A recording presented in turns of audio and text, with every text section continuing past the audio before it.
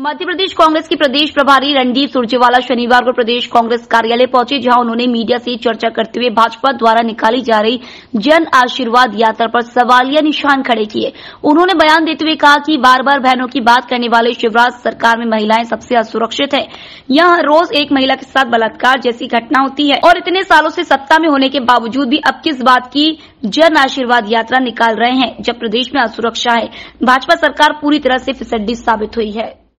भ्रष्टाचार, ये 50 परसेंट से अधिक जो भ्रष्टाचारी सरकार है, इसका खात्मा करने के लिए आए हैं। आदिवासी, गरीब, अनुसूचित जाति, नौजवान, महिला, वो जिस प्रकार से उत्पीड़ित हैं, उस उत्पीड़न को खत्म करने आए भोपाल तो राजधानी मुझे आदरणीय कमलनाथ जी बता रहे थे, और शायद आज के अखबार में छपा है।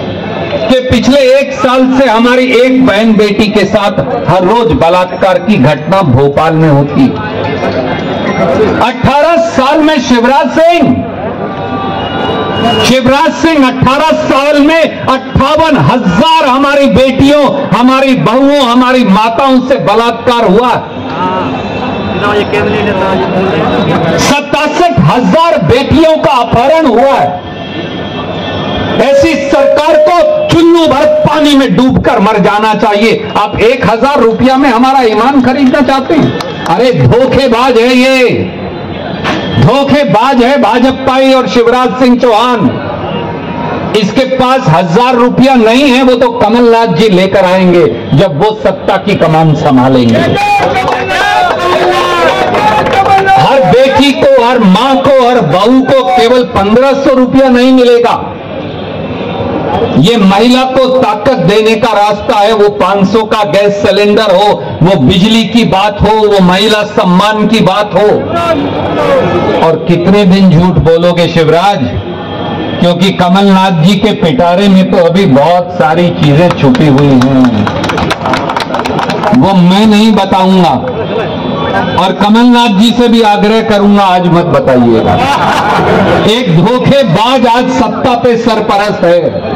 आपने बता दिया तो वो लोगों से फिर धोखा करेगा। अभी 20-25 दिन और इंतज़ार करिए। जब चुनाव आयोग की जो हथकड़ी है, दूसरी हथकड़ी तो बाद में लगेगी, चुनाव के बाद, वो इनके, इनकी बाजुओं में जब जकड़ी जाएगी, उसके बाद कमलनाथ जी का पिटारा खुलेगा, कांग्रेस का पिटारा खुलेगा, और फिर मध्य प्रदेश का भविष्य बदलेंगे। आप सबका बहुत बहुत कांग्रेस परिवार में स्वागत। आपसे मुझे विश्वास है कि आपके आने से जो कांग्रेस के साथियों को गति मिलेगी, जो ताकत मिलेगी, वो बेजोड़ है, और आप स्वयं भी बेजोड़ हैं। आपका स्वागत। जय हिंद, धन्यवाद।